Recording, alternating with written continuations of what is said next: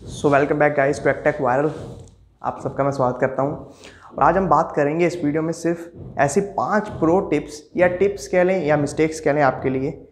ठीक है? बट मैं बोलूँगा उसको प्रो टिप्स ऐसी प्रो टिप्स जिससे आप as a developer professional developer बन जाएँगे। प्रोफेशनल और डे डेवलपर है। ये जो बीच में इसके मार्जिन है ना, ये वाला गैप है, ये सिर्फ़ ये पाँच टिप्स डिसाइड करती हैं। और अगर आप पाँच टिप्स को फॉलो करोगे ना तो आप प्रोफेशनल डेवलपर बन जाओगे।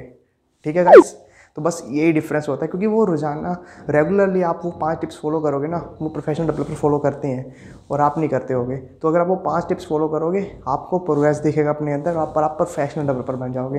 तो इस वीडियो में से वो पाँच टिप्स के बारे में बात करता हूँ।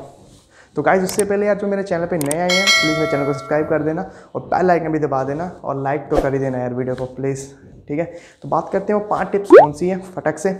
पहला टिप है dry don't repeat yourself अगर आपको लग रहा है कि एक कोड जो आप लिख रहे हो बारी बारी आ रहा है, कहीं ना कहीं कैसे मर्ज़ी कॉल हो रहा है, वो चीज़ बारी बारी लिखनी पड़ रही है, उससे अच्छा आप उसको फ़ंक्शन बना लीजिए या क्लास के अंदर मेथड बनाइए इस हिसाब से कि आपको नंबर ऑफ़ लाइंस बारी बारी वो ना लिखनी पड़े, जो कोड रिपीट हो रहा है। यही इसका मतलब था don't repeat yourself professional developer बारी बारी नहीं लिखते कोड को, वो पता कर लेते हैं लिखते वक्त कि हाँ भाई ये दोबारा आ रहा है तो इससे अच्छा क्यों ना इसको मैथड या फ़ंक्शन बना दिया जाए, जिससे मैं जस्ट कॉल करूँ नीचे एक लाइन में और मेरा काम पूरा हो जाए। ये होता है पहला डोंट रिपीट यूर सेल्फ दूसरा रूल है के आई डबल एस ठीक है? तो ये गाइस के आई डबल एस का मतलब है कीप इट सिंपल स्टूपिड अब बहुत लोग मैंने देखे हैं कि लोग जब कोड कर रहे हैं, इतना कॉम्प्लेक्स बना देते हैं, भूल जाते हैं कोड करते वक्त कि भाई ये चीज़ बहुत आसानी से हो जाती है। तो गाइस थिंक करो ट्वाइस बिफोर कोड ये भी इसके अंदर मैं मानता हूँ रूल जब आप कोड कर रहे हो ना, दस बार, बीस बार सोचो लाइन लिखने से पहले कि ये लाइन लिखनी क्यों है? क्या इसका कोई और एफिशिएंट सोल्यूशन मिल जाएगा? ठीक है? नंबर ऑफ़ लाइंस कोड की रिड्यूस कर पा रहा हूँ मैं किसी हिसाब से। उसको यूज़ कीजिए। तो यही होता है K I double S keep it simple stupid आप पागल अगर आप बारी बारी बड़ा बड़ा चढ़ा के लिख रहे हो कोड जो कि दो लाइनों में हो सकता है तो उसको सिंपल रखने की कोशिश करो। तीसरा गाइस कोड है। मैं इसको बोलता हूँ four Cs four Cs clean code is greater than clever code जो क्लीन कोड होता है ना, एक सिस्टमेटिक वे में, वो चाहे आपका जितना अच्छी क्लेवर कोड लिखा हो, आपने क्या अच्छा एल्गो घुसाया हो वो क्लीन कोड की रीस या बराबरी नहीं कर पाता क्लीन कोड और डोबरेबल होता है कि सब जितने डेवलपर्स होंगे इस फ़ील्ड में जो कि ऐप का कोड लिख रहे हैं, मान लीजिए तो आपने ऐप का क्लीन कोड लिखा है स्नैरियो बना के पूरा अच्छा तो जितने डेवलपर होंगे सब आसान समझ पाएँगे। बट अगर आपका कोड क्लीन या आपने इतना, उतने बीच में क्या मैस फ्ला रखा है बीच में तो वो रीड नहीं होता, वो सिर्फ़ आप ही बता पाते हो रीड करके, यार, ये था। तो मैं मानता हूँ force is clean code is greater than clever code ठीक है? और चौथा टिप है कोड एवरीडे सी ई यार गाइस आप कुछ भी करो, अगर आप डेवलपर बन रहे हो तो कुछ ना कुछ कोड रोज़ करो। चाहे मेंटली कोड करो, आप खाली हो, आज आपका मन नहीं है कुछ कोड करने का, आप मेंटली कोड करो बैठ के।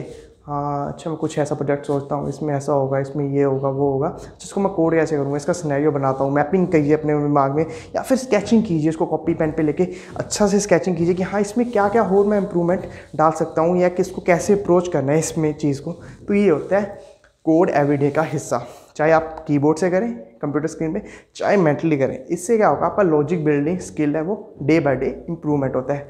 और लास्ट बट नॉट लीस्ट जो सबसे ज़्यादा इंपॉर्टेंट मानता हूँ मैं प्रोफेशनल डेवलपर बनने के लिए कमेंटिंग गाइस जब आप कमेंट नहीं करते ना कोड के ऊपर तो बहुत गंदा लगता है। क्यों लगता है? उसका एक रीज़न ये रहता है कि जब आप बड़ी कॉपरेटिव कंपनी में कई दस बारह डेवलपर काम कर रहे हो ना, एक फ़ील्ड पे मिलके तो वो फ़ील्ड पे मिलके काम करने का यही असर रहता है कि जब आप काम कर रहे हो ना तो आपको लॉजिक जो आपने लिखा है, चार पाँच लाइन का, उसके ऊपर आप कमेंटिंग ज़रूर करें।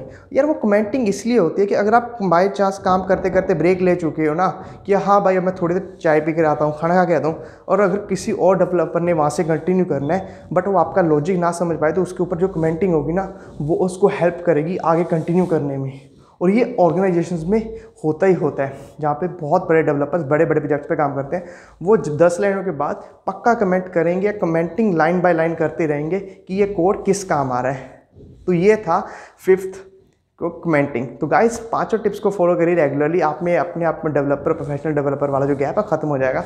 और कमेंट बॉक्स में बताना विजुअल आप कौन कौन सी गलती करते थे और क्या आप यूज़ करते थे? इनमें से कौन सी पाँच चीज़ें यूज़ करते हैं?